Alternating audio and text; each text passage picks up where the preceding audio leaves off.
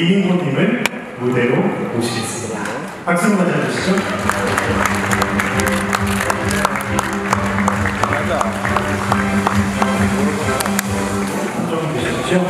앞으로 세계 한국어와 한국 문화를 알리기 위한 이민호님의 활동이 더더욱 기대되는 부분입니다. 네, 위촉장 전달하겠습니다. 박영래네. 배우 이민호 귀하를 한국어와 한국 문화를 알리는 세종학당의 홍보대사로 위촉합니다. 2019년 10월 9일 문화체육관광부 장관 박양우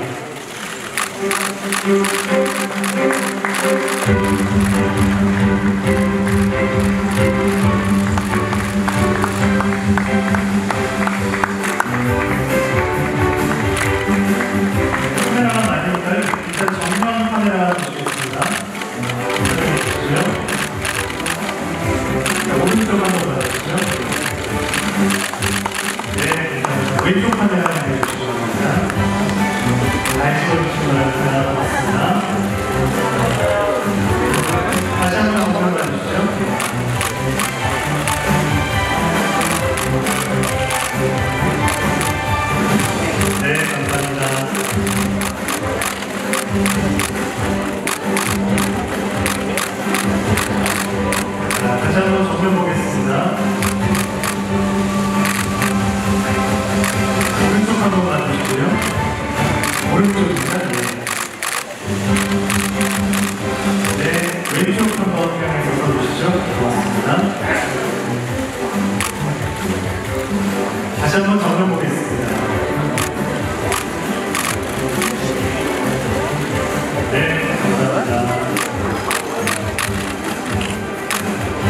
네, 문화체육관광부 방영장관님 자리해 주시고요.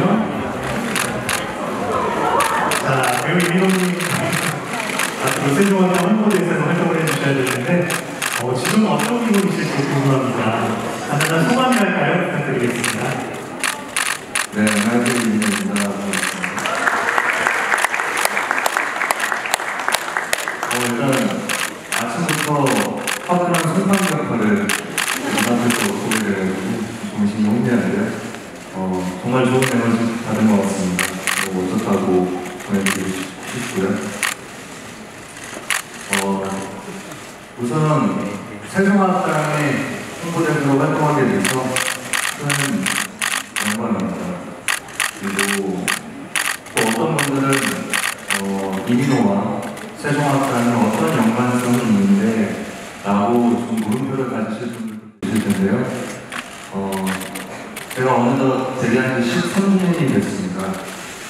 13년 동안 활동하면서 정말 많은 국가들과 그리고 정말 많은 해외 팬분들을 만날 기회가 많았었는데 음, 그때마다 서툴지만 한국어로 저한테 진심을 전하는 모습 그리고 소통하는 모습들을 보면서 어떻게 하면 제가 저분들에게 조금 도움이 될 수 있을까 보탬이 될 수 있을까 고민을 많이 해왔었는데요 이번 세종학당과의 연을 통해서 어, 한글을 배우시려는 분들에게는 조금 더 체계적으로 그리고 또 한국, 한국 콘텐츠를 좋아해 주시는 분들에게는 더 나아가서 한국 문화와 한글을 널리 알릴 수 있도록 열심히 홍보대사로서 활동하도록 하겠습니다.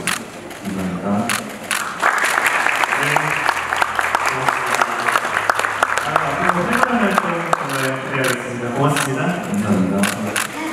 그럼 네. 네. 어, 벌써 의욕이 가득 차 계세요. 아, 정말 기대됩니다. 고맙습니다.